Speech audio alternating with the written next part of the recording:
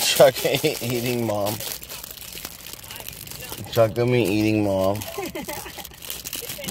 the hell?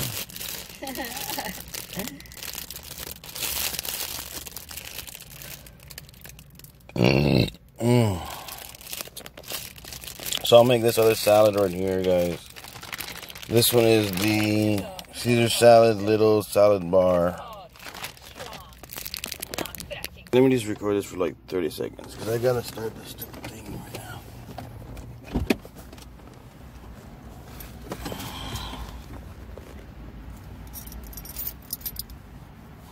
Look, now that we're leaving. Oh my god. So do you not want to leave now? Yeah, because that was weird. They were just being weird. So you still want to leave? No. Huh? Did you want to leave? No? Bored and weird. There's something so wrong with them. They have you nothing still- you to still do. They have nothing to do. I mean,